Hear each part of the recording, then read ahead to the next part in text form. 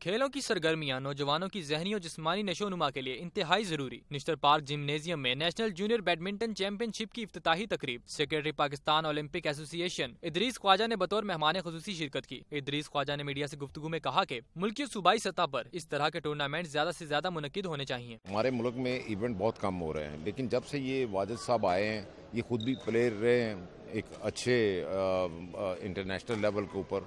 تو انہوں نے اچھے ٹورنامنٹ شروع کیے ہیں۔ کھلاڑیوں نے ٹورنامنٹ میں شرکت پر خوشی کا اظہار کیا اور مزید ٹورنامنٹس کے انعقاد پر زور دیا۔ میں اس ٹورنامنٹ میں کھیل رہا ہوں بہت اچھا رہا ہے۔ ابھی میں میرا میچ بھی ہے۔ یہی انہی ٹورنامنٹ کی وجہ سے تو ہمارے ہم لوگوں میں جذبہ ولولہ پیدا ہوتا ہے کہ ہم لوگ محنت کریں۔ میں یہاں پہ دیکھنے آئی ہوں تو انتظام بہت اچھا ہے بہت اچھا لگ رہا ہے اینڈ ایکسپیرینس بہت مل رہا ہے لوگوں کو تو I feel like it's really good tournament میں انڈر فورٹین انڈر سکسٹین اور انڈر ایٹین کے دو سو سے زائد کھلاڑی شرکت کر رہے ہیں جبکہ فائنل چودہ اکتوبر کو ہوگا۔ کیمرہ مین بابر ریاض کے ساتھ بلال اکیل لاہور نیوز